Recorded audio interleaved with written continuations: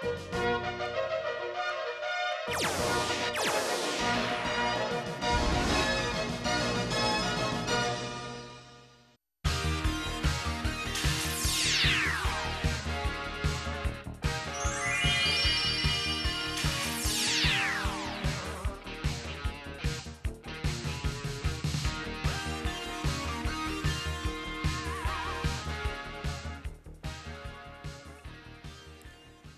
同学，大家好，欢迎收看国际贸易实务第十二讲。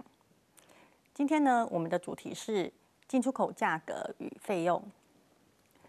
那么，厂商进行国际贸易呢，它目的无非就是要赚取他所期待的利润。可是呢，我们要赚取预期的利润，就必须要先了解我们的货品它的成本还有费用有哪些，这样子呢，你才可以定出一个合理的价格。赚取我们所期待的利润，所以今天的讲次呢，我们就是要来说明，呃，进口货物以及出口货物它的价格的组成成分。那么在了解了这个价格的组成成分之后，我们自然就可以定出一个合理的价格，赚取我们所预期的利润。那么现在呢，我们就先来看一下我们这个讲次的单元目标。本讲次的单元目标呢？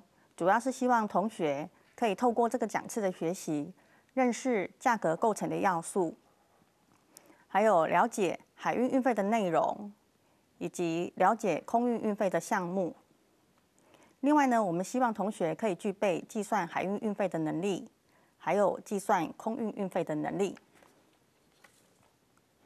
那么首先呢，我们就先来看一下价格构成的要素有哪一些。不管是进口或者是出口，价格的组成项目呢，主要有包括三项。第一项呢是成本，那么第二个呢是费用，第三个部分呢就是利润了。我们先来看一下出口价格的组成成分，这三项分别是指什么意义？首先呢，我们先看出口价格的组成成分。那么第一个货品成本，它是指货品处于出口商可以销售状况的这个之前所所有的投入，也就是这个货品的成本了。那么因为我们出口商的出口货物呢，可能是厂商自己制造的，也可能是跟其他供应商所购买的，所以如果是自行生产生产的商品的话呢，货品的成本指的就是出厂价格。那如果我们是跟其他供应商买的话呢，那么货品的成本指的就是进货的成本。出口价格组成的第二个项目呢，就是出口的费用。那出口的费用呢，项目非常的多，像是出口包装的费用，因为我们出口货物必须要经过长途的跋涉，还有多次的搬运，所以呢，需要比较坚固的包装。第二项呢，就是国内的运费，它指的呢是我们把货物运到出口地的码头、货柜场、货柜集散站这些地方所需要的内陆运费，比如说卡车费、拖车费，都是属于这个呃内陆运费的部分。第三项呢，就是检验及证明费用，像是检验、检疫或者是公证的这一些费用呢。还有一些必要的证明文件的申请费用，比如说原产地证明书，还有领事发票这一些相关的申请费用，都是属于这一个项目的。第四个部分呢是出口的运费，它是指我们从出口地到目的地之间的国际运输费用。那这笔费用要不要计入我们的这个出口价格里头，主要是看我们的出口条件来决定的。如果我们出口商所报的价格是 FOB 的话，那么这笔费用呢是不用计入我们的报价里面。但是如果我们所报的费用呢是 CFR、CIF，那我们所报的价格里面就包含了运费，所以呃在这样的一个报价条件下呢，我们是要考虑这个出口运费的。那么第五项呢是保险费。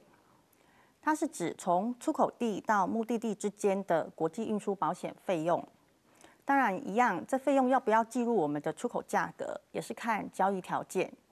比如说我所报的条件呢是 CIF 或者是 CIP 的话，那么我们的出口价格就必须包含保险费了。第六项呢是报关的费用，它包括了仓租以及报关行的手续费，有时候呢可能也包含理货工资、验关车资、验关工资。以及传输费等等，在报关阶段所发生的各项费用。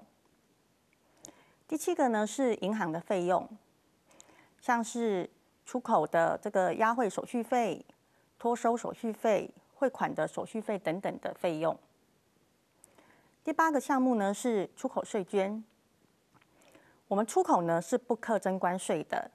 但是呢，我们要由海关来代征推广贸易服务费以及香港服务费。那这些费用呢，就是属于我们出口税捐的这个项目里面。第九个呢是邮电费，像是邮资，还有电话、传真、网际网络等等的电信费用，都是属于邮电费。最后一项是买方回佣，它是指。我们应该要给买方或代理商的回佣，或者是这个呃呃回扣，或者是佣金。那么第三项出口价格组成的项目呢，就是预期的利润了。那么我们预期利润应该要怎么决定？其实并没有一定的标准的哦，因为呢，我们要看我们产品的种类，还有整个市场的供需情况，竞争是不是激烈。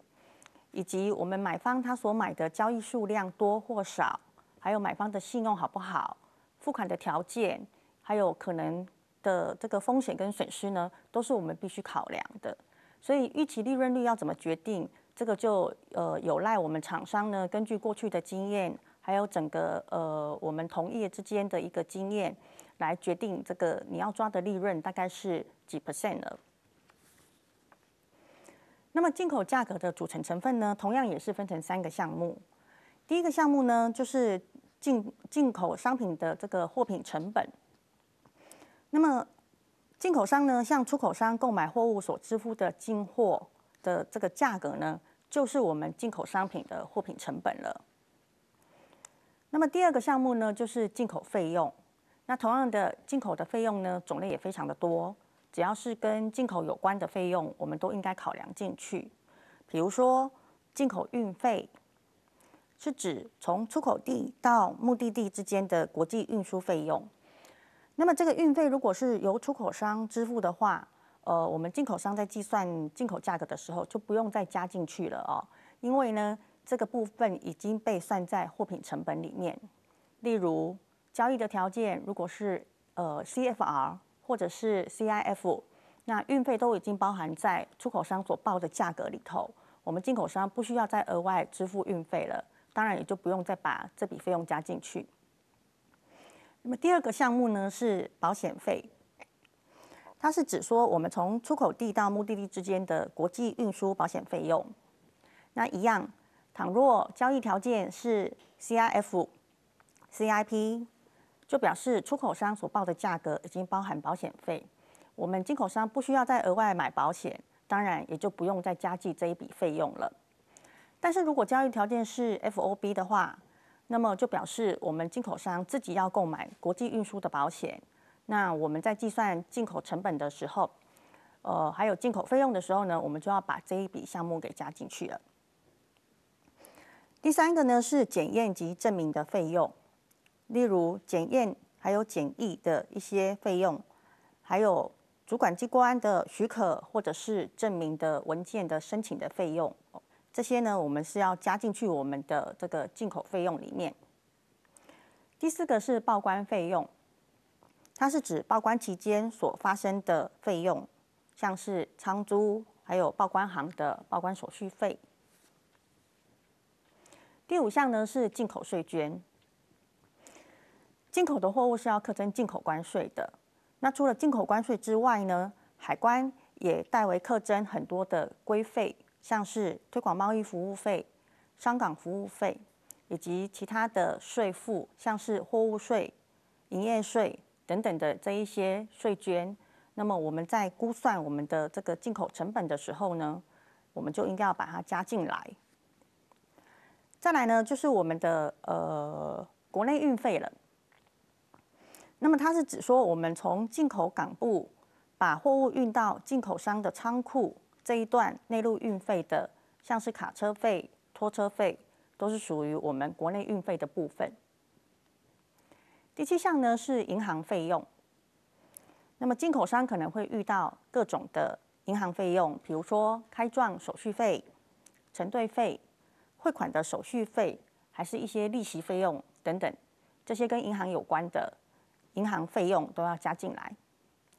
邮电费呢，指的是邮资还有电信费用。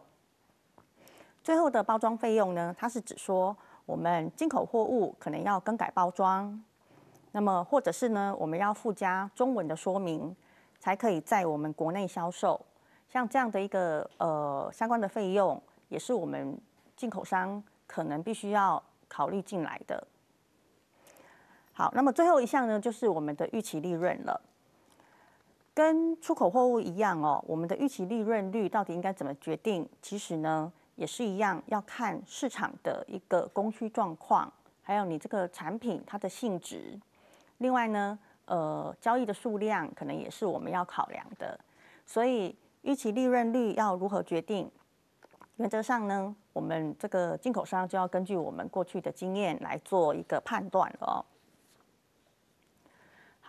那么在我们呃这一些进出口费用当中呢，运费所扮演的角色其实是非常重要的，因为呢，运费几乎是所有费用里面金额最高的一种这个项目哦。所以接下来呢，我们就要来根据运费再进一步的做详细的介绍。那么首先呢，我们就先来看一看海运运费的计算。海洋运输的收费呢，大概可以分成。运费跟费用两种类别，那事实上运费呢，它是指说我们提供运输服务所应该获得的报酬，可以分成基本费率还有附加运费两种。那至于费用的话呢，它指的是提供运输服务而另外产生的相关支出。不过事实上我们在讲运费的时候，其实是呃包含了这两大项目的。那么我们刚刚提到所谓这个基本的费率，海运的基本费率，它指的意义是什么呢？基本费率呢，它是指每一个运费吨所收取的运费费率。那么它计费的方式呢有很多。第一种呢是采用体积法来计算我们的基本运费的哦。体积法呢，它是依照货物的体积大小来计收运费的。适合用在体积大、重量轻的货物上。那么，如果以体积吨来作为这个运费吨的话，一般来说，我们是以一立方公尺，也就是一个 CBM 来作为计费单位。但是实物上呢，我们经常会以英制的单位来衡量货物的大小，所以我们在计算运费的时候呢，就经常必须要做一个度量衡的换算。那么我们常用的这个呃度量衡的换算比例呢是这样哦，一英尺等于十二英寸，而一立方英尺就是我们所谓的一材，它是等于一千七百二十八立方英寸的，而一立方公尺呢是等于三十五点三一五立方英尺。那么这个换算单位呢，在我们呃国际贸易上面呢，其实是经常会用到的。所以呢，这几个呃换算的比例呢，可能同学呢最好要把它牢记。那呃这样的话呢，你在计算运费的时候就会比较方便了。那么第二种计费的一个方式呢是重量法。重量法呢是依照货物的重量大小来计收运费的，它是适合用在体积小然后重量重的一个货物上。那么以重量吨来作为运费吨的话呢，通常是以一公吨来作为计费单位的。第三种呢是体积重量法，也就是说呢，船公司它会依照体积吨还有重量吨这两种方式所计算的运费采计较高的。当然，这样的收费方式对船公司来说是比较有利的。第四种呢是重价法，主要是用在价值高的昂贵物品上，比如说珠宝啦、金银啦，因为它们的价值昂贵，所以必须要特别的加以保护。那一般收费的方式呢，是按照商品的 FOB 价值的某一个比例来计收运费的。第五个呢是论件法，基于商业习惯或者是货物性质，我们会采用论件计价的方式来计收运费。比如说汽车、游艇、牲畜等等的，就会使用论件法来计收运费。那么为了保持我们基本费率的稳定，呃。有些时候，可能某些特殊因素，船公司的成本上升，但是呢，它不会调整基本费率，而是以加收附加运费的方式来反映成本。那么常见的附加运费呢，有这几项。第一种呢，叫做燃料附加费，它是燃油价格突然上涨的时候所加收的附加费用。那我们船公司呢，会以这个燃油价格上升的幅度来作为调整因子，我们叫做。燃油调整因子叫 BAF，B A F。那第二种呢是币值附加费，它是因为运费计价的货币升值或贬值，使得船公司的实际收入呢因而减少。那么船公司为了弥补这样的一个呃损失呢，它就依照我们基本运价的某一个百分比来加收附加费，这个就是所谓的币值调整因子。那么第三种港口拥挤附加费呢，是因为呃某些港口很拥挤，所以造成我们船只的装卸缓慢，耽误了船期。那这样的一个损失呢，呃船公司呢为了弥补它这中间的损失，就加收了这样的一个附加费。第四种呢是冰险附加费哦。那有些公司这个它会对于呃船只的这个航线有经过战争的地区，会呃加收冰险附加费，原因是因为说呢，保险公司呢，它会对船公司加收冰险的保费哦。第五个是旺季附加费，就是刚好碰到航线呃遇到旺季的时候，那么货物的运输量暴增，所以呢船位需求增加，船公司呢就在旺季加收这个附加费。第六种呢是空柜调度费，因为旺季的时候呢，货柜去程满载，可是回来的时候呢，这个呃速度很慢，那结果呢，使得我们这个远东地区啊没有空的货柜可以用。那为了要调度这个货柜，所以我们船公司呢就额外加收了这个空柜的调度费。第七个呢是转船附加费，那么呃，因为我们船国。没有办法直接到达目的港，而必须要经过其他港口来转船，所以呢，船公司呢就加收了这个转船附加费。那么第八种呢是目的地运送费，这笔费用呢大部分是在美国航线才会收的哦。它的这笔费用主要是收从港口到货柜场的运送费用。好，那附加费用这么多，看得我们货主眼花缭乱的。很难计算这个我们的运费哦，所以为了求简单明了，我们可以要求船公司或者是货运承揽业者报给我们一个 all in 的价格。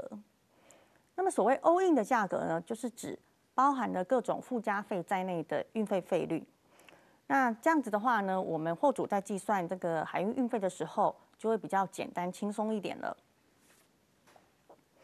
那么除了基本的费率还有附加运费之外呢？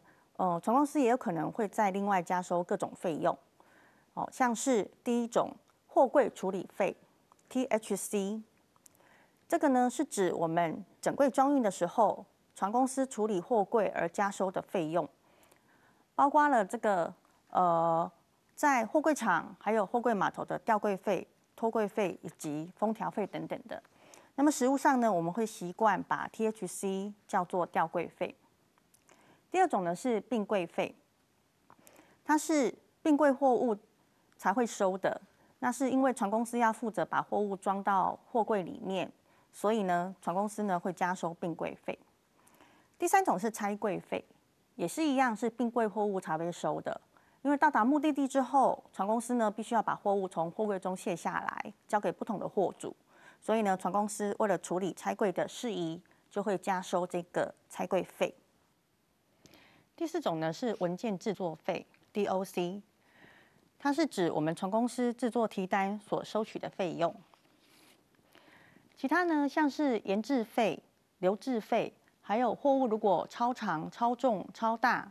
或者是说，在托运的时候呢，还没有决定卸货港，还是说，呃，装运了之后呢，这个呃才更改卸货港的话，那我们船公司大概都还会再额外的加收一些其他的费用。那么我们来看一下，呃，怎么样去计算海运的运费？那么以货柜运输来讲的话呢，货主在选择这个呃托运的时候。他所必须要做的一个抉择，就是应该是要并柜装运还是整柜装运。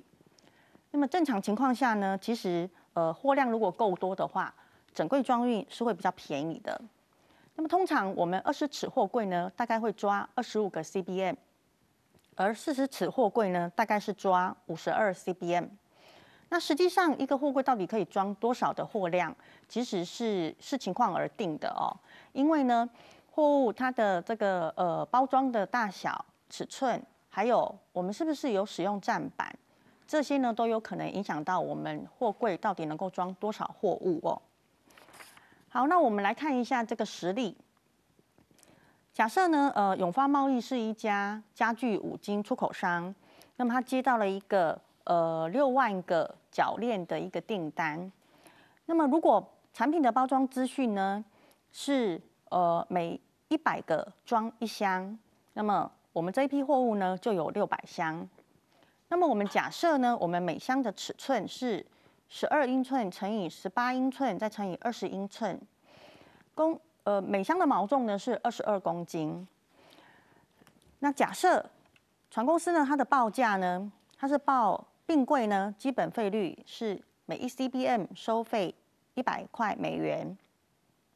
二十尺货柜的话呢，是收费美元一千五百元，而四尺四十尺柜呢是收两千三百美元。那么货柜处理费呢，二十尺货柜是收台币五千六百块，那四十尺呢是收七千块。并柜的费用呢，它会收每一 CBM 是台币三百八十块钱。那么不管是并柜还是整柜。的托运哦，我们的文件制作费呢都是收一千五百块。那么假设我们二十尺货柜可以装载的货物材积呢是八百八十材，而四十尺货柜呢可以装一千八百五十材。至于载重量的话，二十尺货柜它的限重是二十一公吨，而四十尺货柜呢是二十六公吨。那在这样的报价之下，我们六百箱的铰链呢应该要怎么样托运呢？哦。首先呢，我们要先计算货物的材积，每箱的材积呢，我们把它算出来，然后乘上每一箱，呃，总共六百箱哦，二点五的这个呃立方英尺乘上六百箱就是一千五百材。那么一千五百材的话呢，呃，原则上我们是可以装两个二十尺货柜或者是一个四十尺货柜的。那么呃。基本上，如果四十尺货柜可以装，我们就会装四十尺货柜。不过，我们还是要实际上来算一下，比较一下这个并柜跟整柜的运费到底什么比较低哦。那所以我们就把一千五百材呢除以三十五点三一五，得到我们这个总共是四十二点四七立方公尺 CBM。那么我们就用这个四十二点四七的 CBM 呢来计算并柜的运费。那么并柜运费呢？